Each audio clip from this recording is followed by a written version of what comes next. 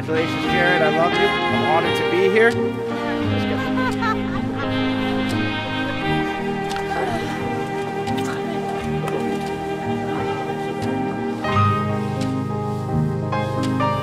Jared and Kelsey, under vows in summer skies, begin their new life. I am pleased to pronounce you husband and wife.